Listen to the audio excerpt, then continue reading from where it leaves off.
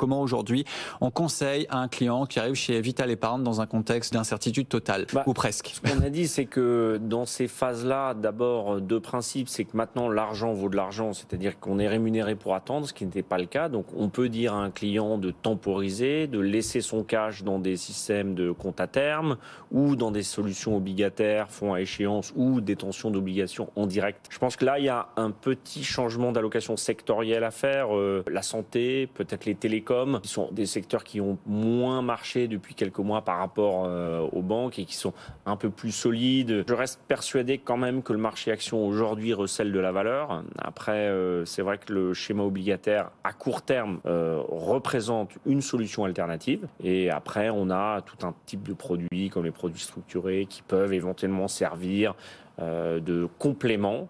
Mais je pense qu'une bonne allocation, c'est du cash, des actions et un peu d'obligations.